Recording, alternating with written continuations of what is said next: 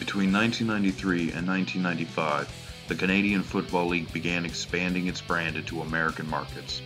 The CFL's first American expansion team was the Sacramento Gold Miners in 1993.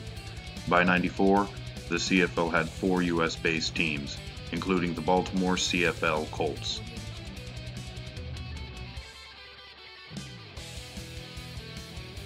Due to legal issues with the NFL, Baltimore was unable to use the Colt name, changing the name to the Baltimore Football Club instead.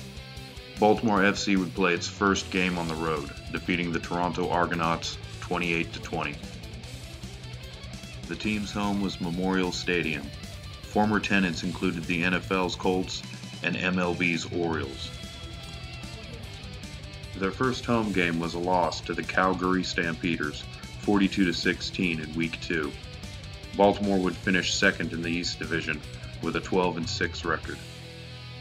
After postseason victories against Toronto and Winnipeg, Baltimore became the first American team to qualify for the Grey Cup.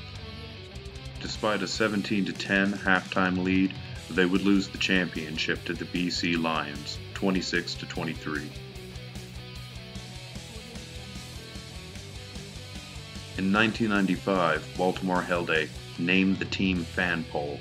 Owner Jim Speros announced the name Baltimore Stallions, replacing the Baltimore FC name. The Stallions would place first in the South Division at 15 and 3.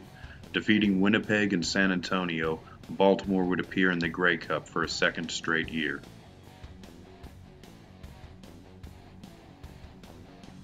Baltimore would defeat Doug Flutie's Calgary Stampeders 37 to 20.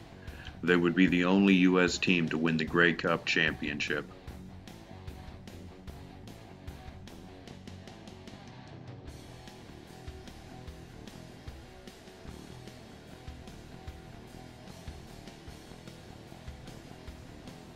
On November 6, 1995, it was announced that the Cleveland Browns would be relocating becoming the Baltimore Ravens in 1996.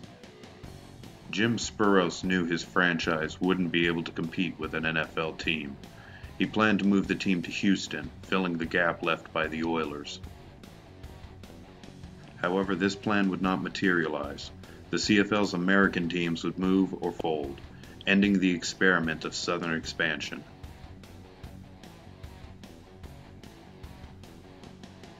the Stallions would move to Canada, becoming the third incarnation of the Montreal Alouettes. The Stallions and Alouettes are considered to be separate franchises. They do not share the same history. The Baltimore Stallions are considered to be the most successful American CFL team, with strong home attendance, two winning seasons, and a Grey Cup championship. Former players Tracy Ham, Elfrid Payton, Mike Pringle, and Don Matthews are honored at the Canadian Football Hall of Fame.